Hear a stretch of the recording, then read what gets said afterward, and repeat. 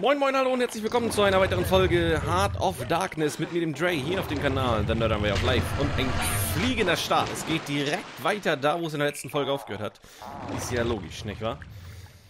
Ja, Heart of Darkness, eines meiner ja, frühesten Kindheits... Ne, Erinnerung ist falsch. Da war ich ja, ich war ja schon 11, 12, muss ich ja schon gewesen sein. Und ich habe ja, ich kann mich an Sachen von vorher erinnern. Nee, aber so zockermäßig, Gamer-Karriere-mäßig ist das eine der prägsamsten Erinnerungen auf jeden Fall, sag ich mal. Oh, und jetzt gibt's hier schon die nächste Cutscene. Er ist auch ein witziger Dude. Ich, ich bin Andy. Andy!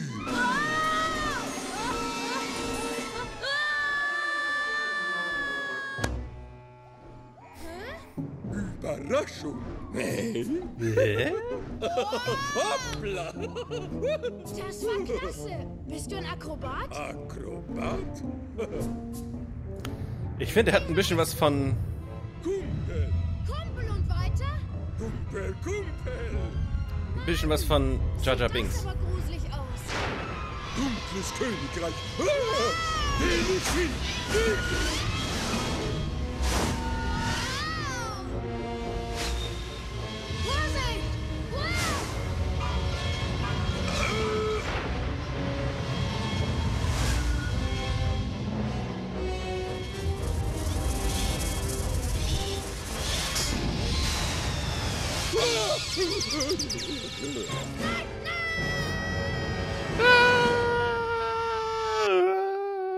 Flatsch.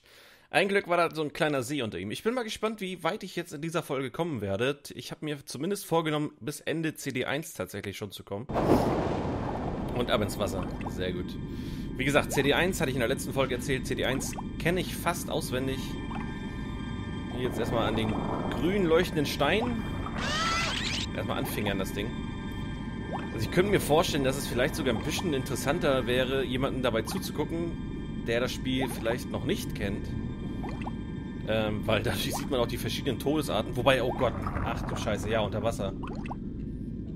Ach Gott, wenn ihr Metal Gear Solid 2 von mir gesehen habt, äh, da lasse ich mich an einer bestimmten Stelle auch über Unterwasserlevel aus und Alter, mir fällt gerade wieder ein.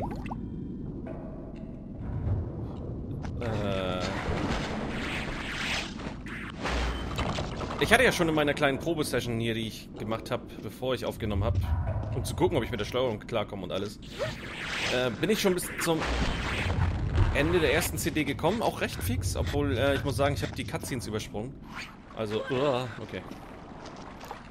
Ey, aber diese Wasserdinger hier, das ist, das ist irgendwie...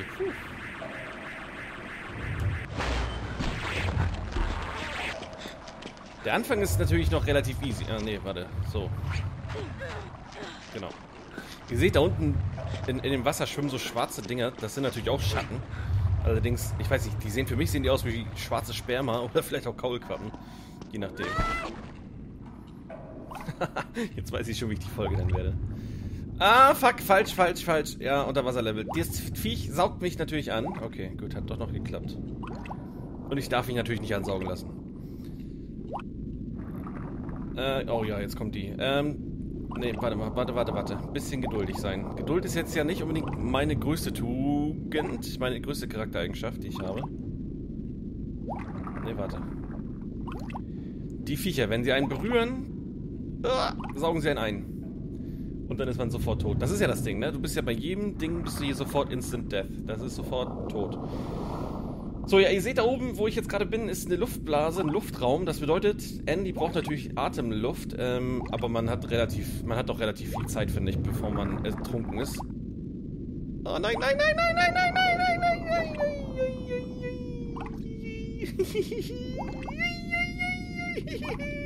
Geschafft. Man hat natürlich auch keine Anzeige. Man hat, äh, das finde ich auch irgendwo geil. Ne? Das Spiel hat halt kein HUD. Das Spiel hat, hat, hat halt kein HUD. Hat halt kein HUD. Oh Gott. Ähm, weil braucht es nicht. Man hat keine Lebensanzeige, weil gibt es nicht. Man hat keine Energie für Leben, äh, für, für, für Munition. Ah, War das jetzt hier schon? Ja. Weil äh, gibt es nicht. Man kann halt unendlich viel schießen. Wenn man stirbt, wird man an einem ähm, Checkpoint zurückgesetzt. Und man hat auch so keine Anzeigen. Das ist irgendwo, ich, ich mag sowas. Das war close, glaube ich. Oh, ah ja, er pustet mich jetzt rüber, okay. Und der, und der da knapp über mir, also der, der rechte, der saugt mich natürlich an. Scheiße, wie ging denn das? Ähm, ja, aber keine Anzeigen. Das heißt, man hat auch keine Sauerstoffanzeige, logischerweise. Come on! Ja, okay, klappt. Aber ihr seht, dass Andy so ein bisschen die Luftblasen da hochpumpt. Und die werden jetzt schon ein bisschen schneller. Das bedeutet, ihm wird langsam die Luft knapp. Aber ich habe ja gesehen, hier... Also er meldet sich auch einmal noch vorher, bevor man äh, ertrinkt tatsächlich. Macht irgendwie so ein, so ein Gluckergeräusch. Also so ein... Und dann weiß man, oh, oh, okay, es wird knapp. Aber ich bin jetzt sicherheitshalber nochmal zur Luftblase gegangen. Ich habe es vorhin im ersten Versuch, habe ich es hier äh, so durchgeschafft, glaube ich, oder? Oder habe ich mich erwischen lassen? Weiß ich gar nicht mehr. Also ich vermute, dass man es auch schaffen kann, direkt in einem Rutsch nach oben hindurch. Äh, oh fuck, das wird zu spät. Das ist zu spät! Das hat noch geklappt. So, die sind jetzt auch ein bisschen tricky. Okay. Gut. Nee, ich bin durchgekommen. Stimmt, ich bin bis hier hochgekommen. Ja, alles klar. So, jetzt seht ihr, da oben ist eine Pflanze, die will mich fressen. Wenn ich zu dicht nach oben komme, werde ich also gefressen. Das Ding da unten pustet nach oben dementsprechend. Also, ich, ich glaube, es wäre schwerer gewesen, wenn das Ding gesaugt hätte. Aber so geht man einfach hier bis auf den Grund, an die Pflanze ran, und dadurch. Fertig. Oh shit. Das kann man, wenn man gut ist, in einem Rutsch schaffen. wenn man gut ist. Geil. Ja, so ein bisschen so Spiele, die ich kenne, die ich gut kenne, da kann ich auch so ein bisschen Skill beweisen. Sag ich jetzt und werde garantiert gleich gefressen. Okay, das klappt. Nein. Oh, nein, nein, nein, nein, nein. Andy, Andy, Andy, Andy, Andy. Ah, shit. Da bin ich zu panisch geworden. Rechts ist nämlich auch noch eine Pflanze, die muss ich auch noch beseitigen.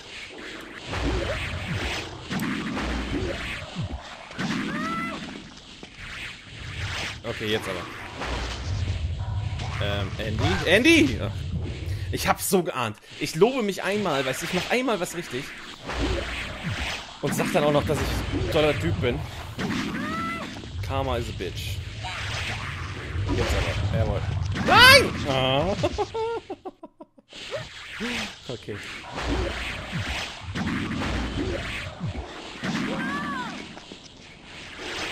Jetzt Konzentration. Darüber, darunter. So. Oh nein. Ah. Die Viecher habe ich schon immer gehasst. Aber ich finde sie auch irgendwo witzig. Das ist genau mein Humor. So. Ja, und das ist jetzt eine etwas kompliziertere, kompliziertere Stelle.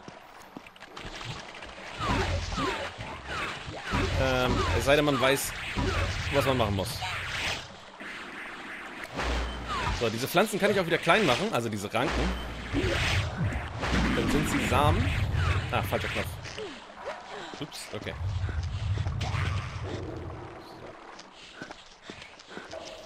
So, hier gibt es jetzt einen Trick. Ähm, ich weiß, das sieht jetzt so aus, als müsste man von rechts Anlauf nehmen und einfach rüberspringen äh, und durchrennen. Aber ich mache es einfach so. Ich kriege einfach durch. Das geht auch einfacher und ist sicherer. Und dieses Rüberspringen, das finde ich immer ein bisschen, ja, ein bisschen risky.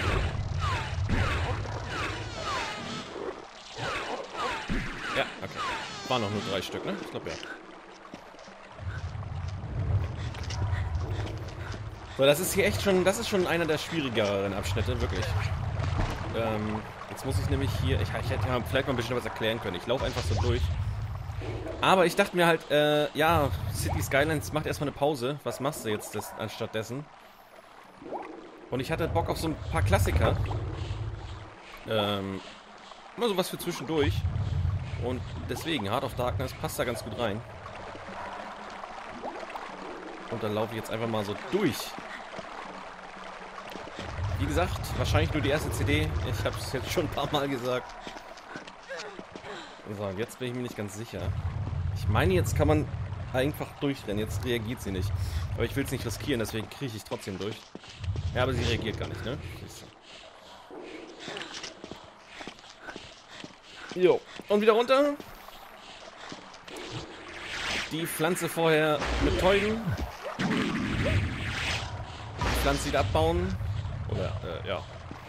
Dass man den Samen hat. Weil den braucht man jetzt. Und jetzt kommt nämlich, jetzt kommt der wirklich knifflige Part. Äh, ihr seht da in der Mitte ist schon ein Samen. Jetzt muss ich den da reinschmeißen. Dann wird der verdrängt. Und rollt weiter. Also ich musste da unten, jetzt habe ich auf dem Monitor gezeigt, aber ich musste da unten den Stein weg, ähm, wegschaffen, damit die Strömung entsteht. Ich glaube, das ist verständlich. So, jetzt darüber. Darüber. Dann den hier weg. Ins Wasser. Und hier dasselbe Spiel von vorne. Und immer das schwarze Sperma, was da unterwegs ist. Also Jungs, wenn's, spätestens wenn es bei euch so aussieht, macht euch mal Gedanken. Oder Sorgen. So, jetzt wird's, jetzt wird's schwierig. Aber es klappt. Sehr gut. Das ist immer so ein bisschen blöd, wenn man direkt nach einem ähm, ja, Bildschirmsprung, äh, Bildschirmwechsel springen muss. Das ist immer ein bisschen tricky. Und woran ich mich auch erstmal gewöhnen musste. Deswegen bin ich ganz froh, dass ich vorher mal so einen, so einen Probedurchlauf gemacht habe. Ähm, wenn man springt und man will sich irgendwo dran festhalten, muss man Springen gedrückt halten. Das ist eine ziemliche Gewohnheitsnummer.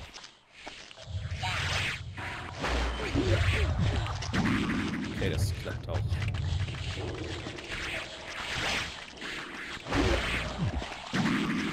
So, mal gucken, wie ich jetzt hier durchkomme.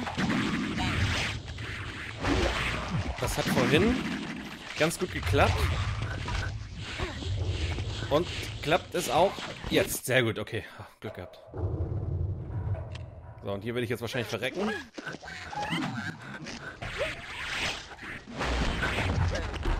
Ja. Er greift mich noch runter, ja. Ja, das meine ich. Also das Spiel ist ab 12 und es hat echt krasse Todesszenen. Der dicke Typ ganz am Anfang, ähm, mit der die Waffe gefressen hat zum Beispiel. Ich kann ja mal ein paar killen. Um mir ein bisschen Zeit zu kaufen. Der frisst einen echt fies. Das hätte ich euch vielleicht zeigen können, aber... Naja, müsst ihr bei jemand anders gucken, wenn ihr sterben sehen wollt. Ach, ich bin noch nicht aus dem Bildschirm. Okay. Ah. Ja, okay, alles klar, geschafft. Da waren nämlich oben auch noch ein paar Viecher. Nee, warte. Äh. Genau, so. Und einfach Dauerfeuer nach unten, bis alle weg sind.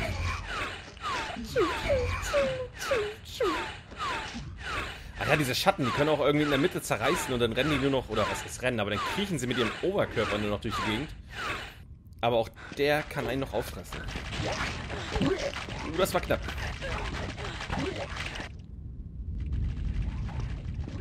Das wäre echt ein Spiel, wo man mal einen Speedrun zumachen könnte. Habe ich zu Bucky ja auch mal überlegt. Aber ich glaube, das hier wäre sogar noch cooler. Alright. Ja, leider ist das Ingame nicht äh, lokalisiert. Aber naja. Bist du sicher, dass du nicht aus dem Zirkus kommst? Hey, wo fliegen wir hin? Überraschung. Überraschung. Das ist jetzt eine etwas längere Cutscene. Mein Zuhause, Andi. Mein Zuhause. Wow! Das Aber die sieht ist ja irre aus. Eine echt cool, finde ich. Und witzig. Und geil. Akrobat, Andi. Akrobat, die fliegende Kumpel. Juhu! Schneller, schneller! Alter, dass er ihm nicht einfach den Arm abreißt. Er hält ihn nur an einer Hand fest. Das geht. Hier sieht's ja aus wie in der Karibik. Karibik. Mein Zuhause, Big Big.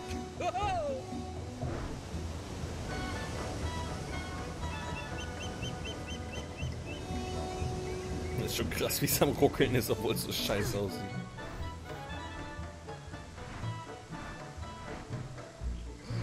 Hallo! Hey! Kumpels! Kumpelinchen! Hey? Hey? Das sind noch mehr von ihm.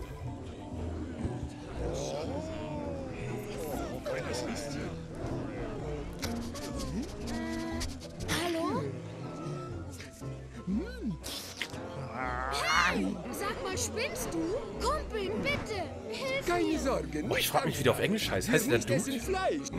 Wir Vegetarier. Wow, den schnapp ich mir. Ich bin am Verhungern. Ich könnte ein ganzes Pferd essen. Nicht anfassen, nicht.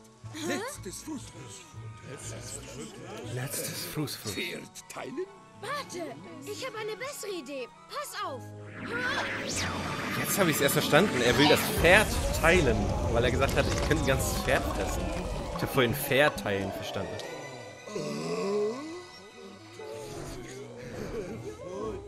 Ah, Pferdebaum. Hä? Pferd essen, Pferd essen. Ja, ist geil.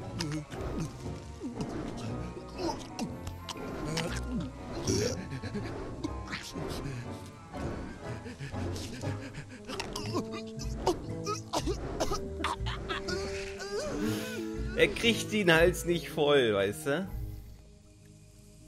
Das ist, das ist so geil. Wie ihr sehen könnt, habe ich tierische Probleme. Ich meine, hier sitze ich nun, abgestürzt in der Mitte von nirgendwo. Mein Hund Whisky wurde von fliegenden Skeletten entführt und ihr Jungs seid meine einzigen Kumpels.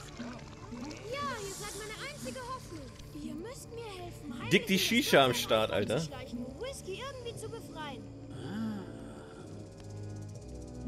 Müssen sprechen mit altem Weisen. Oh, alter weiser Rede. Oh, alter Weiser, rede zu uns deine Worte der Weisheit. ist der Hammer.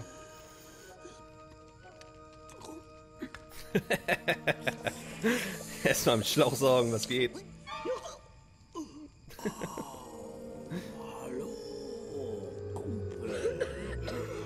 Hey, Dude. Du gekommen. Mein Auge der Vision kann nämlich sehen alles. Wisst ihr, Herr? Ich zeichne meine Vision. Ist genau wie du. Jupp. Jetzt pass Du auf. flattern von Himmel und suchen Kumpel wie diesen. Das ist so geil. Ah, falscher Baum. Du, du willst wiederfinden, kleinen Hundekumpel? Du darfst nicht gehen. Große Gefahr dort. Große Gefahr dort. Hier, ich dich beschützen mit meiner großen Magie. Dunkle Kräfte niemals kommen, weil sonst Tick-Tack-Toe. Ich großer Voodoo-Magiker. Her. Der alte Weise sagt, böse Knochen niemals kommen hierher. Ich habe gesprochen. Ja, so viel dazu.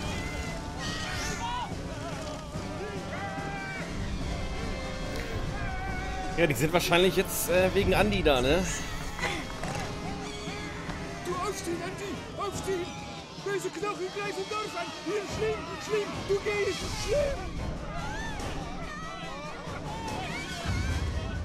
Vorsicht, pass auf! Oh, Jonas, ich komme.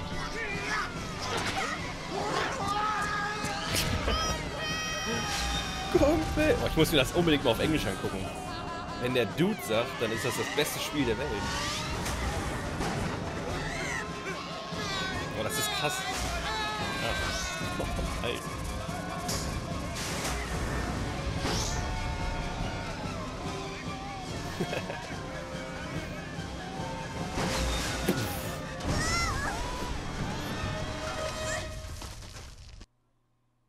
Ich finde schon recht übel. Oh, tatsächlich, das war schon mit der ersten CD. Ja, krass. Dann ist die Hälfte schon rum. Äh, ja, dann beende ich diese Folge hier auch und dann sehen wir uns dann gleich bei CD 2 wieder. Und ab da wird es dann auch schon ein bisschen trüber mit meiner Erinnerung. Also, ob ich da so flawless durchkomme, mal gucken. Äh, auf jeden Fall vielen Dank fürs Zusehen. Wenn es euch gefallen hat, wie immer, Daumen nach oben.